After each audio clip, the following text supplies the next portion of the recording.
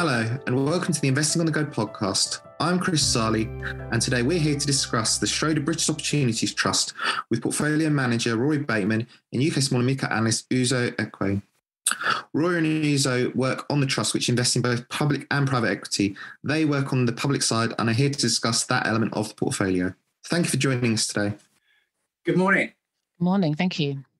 Um, the trust was launched just over a year ago in response to the pandemic. Could you perhaps tell us a bit more about that and what opportunities you saw at the time? Yeah, look, uh, the Schroders British Opportunities Trust really was uh, the genesis was around the time of the pandemic when we felt at that point in time it was a pretty much a once in a generation opportunity to buy really great quality UK small and mid cap companies up to a market cap of 2 billion. Um, on the public and the private side, trying to ensure that we got into companies with with lots of valuation upside, um, companies that weren't distressed in terms of debt, but companies that needed fresh equity to be injected into those businesses for them to realize the full potential within their particular business model. So focused on UK businesses, really high growth potential, businesses that required fresh equity to maximize the potential growth. And when it comes to high growth companies that have benefited from the pandemic, you, you, tend to think of things like Amazon and Zoom in the tech space. Um, what type of company does the UK have to offer in this space? And could you also perhaps give us a couple of examples just for the listeners? Yeah, sure. So I suppose, you know, apart from obvious, obvious companies um, in areas like online, mm-hmm. food delivery, and other types of e commerce businesses, that have done quite well. There are also these types of companies that have an indirect um, exposure to, to this space so because they provide services to firms that need to adapt to the changing technological um, landscape. So, um, an example of this is a company called Ascential, which we own, and that it's a really interesting company. You know, it provides data and analytics to global consumer brands, and it really helps them to embrace e-commerce and to understand the competitiveness um, of their products. And then they also have another business which they um, run events like the Money 2020 events. But the more exciting part of the business is really the data and um, analytics side of things. And over the last couple of years, you know, what you've really seen of them is dispose of this, you know, the non-core businesses um, in favor of this fast-growing area. And they raised equity last summer, which we participated in, and trading continues to be quite strong. And then I think, you know, aside from that, whilst tech is often the, you know, um, spoken about theme, there are other areas that have done quite well during the pandemic. So if we were to look at from a backward looking perspective, you know, the earlier phase of the pandemic, we really saw it coincided with lower economic growth and lower output. But then, as that began to reverse in early 2021, we then saw a number of companies do well from you know the subsequent economic upswing. So, you know, we think about these companies being in the industrialization theme, um, and so where you saw suppliers, they began to manufacture more to meet excess demand, and then you know the combination of that strong demand and the supply chain issues and high commodity prices prices really saw them um, or rather it recreated a higher inflationary environment and then allowed them to um, have a lot of pricing power.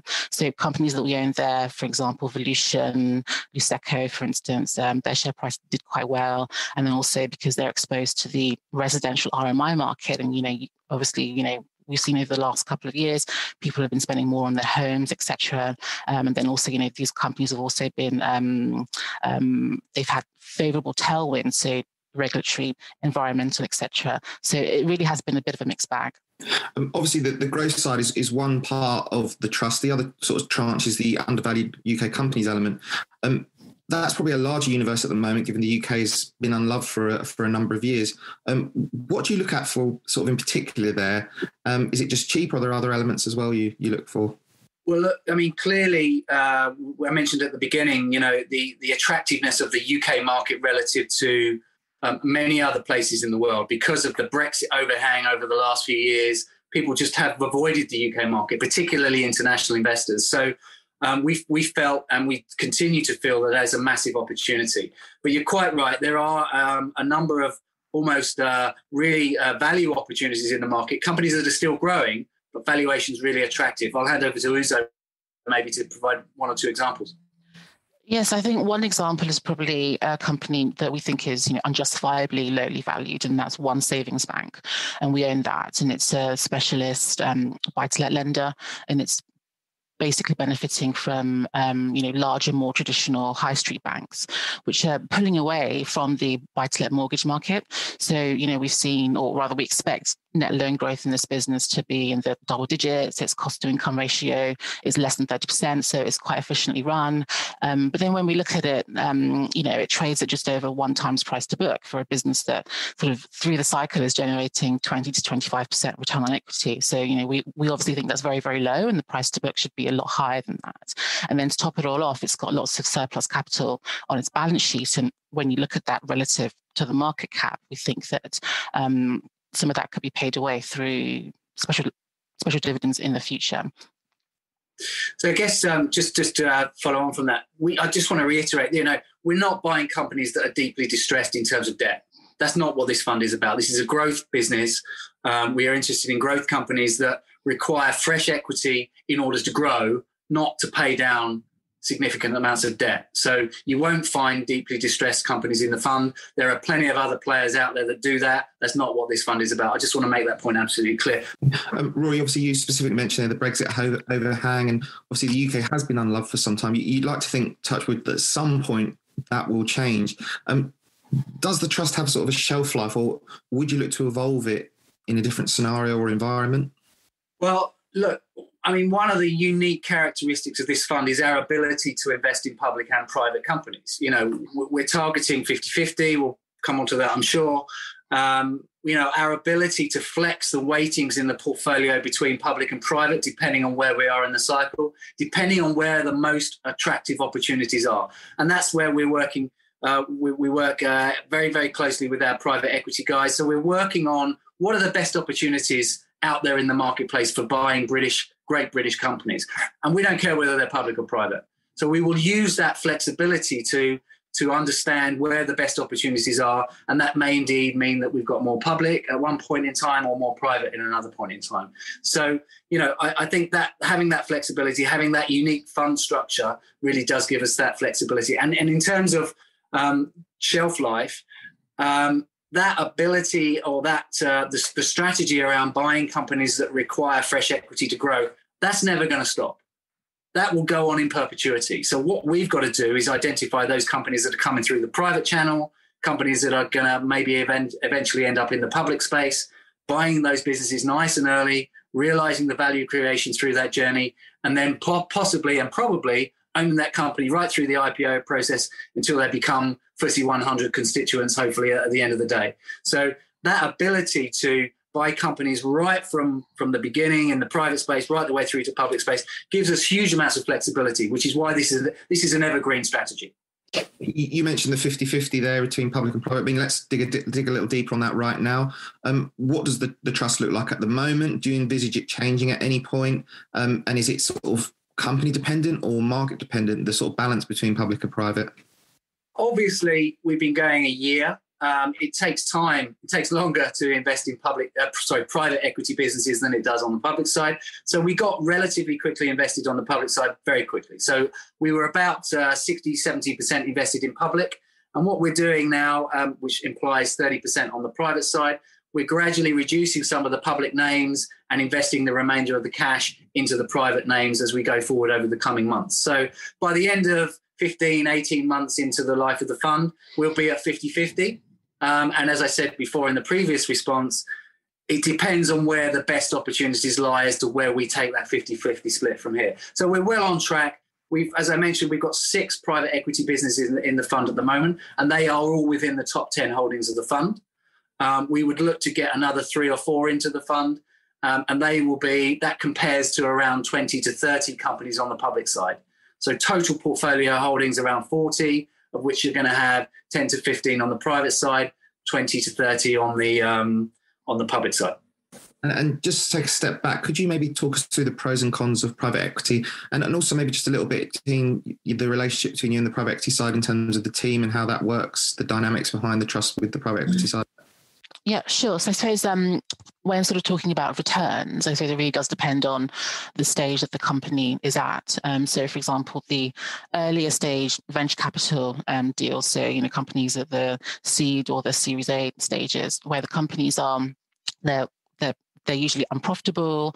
Um, the um, economics of the business is um, unproven, um, but you know it can actually be quite rewarding from a returns perspective. But the industry loss ratio is quite high, and then in contrast, you might have later growth um, companies that have lower returns, but the industry loss ratio is actually lower than on the seed and Series A stage. Okay, just to add on that, I mean, look, the private equity space historically, because of the illiquidity premium, does generate higher returns.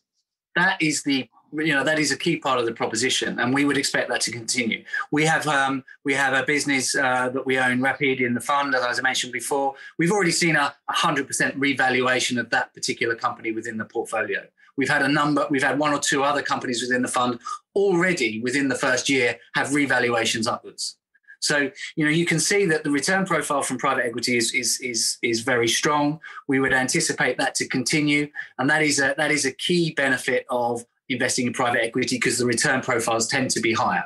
In terms of the negatives obviously there isn't a liquid market for investors to sell you know at their leisure um, in in um, private companies so they usually are locked in for quite for quite a number of years. So that's a drawback. And then we think another drawback is obviously private equity investors. They're usually forced sellers at IPO, or at least until the lockup period expires.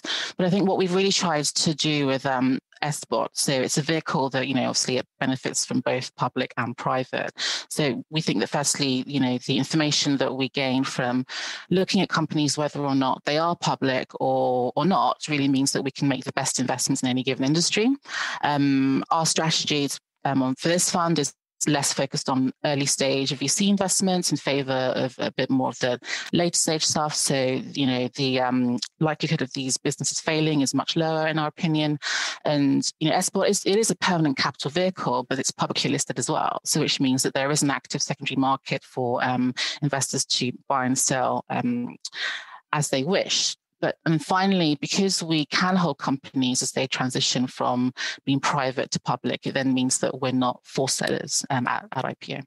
Um, you do obviously, as, as, as Uzo has mentioned, you suffer from this illiquidity premium. But the beauty of an investment trust is clearly that it's closed ended and it's it, and and the volatility in the share prices is, is how you can buy and sell the shares. So it's a it's a real fantastic proposition in terms of that whole democratization of private assets we can get different clients into the portfolio um, and they're able to buy and sell the shares, but retain that exposure to private equity, which is crucial part of the strategy. In terms of, in terms of uh, Schroders' capabilities in the private equity space, we've uh, been exploring expansion into private equity over the last five years.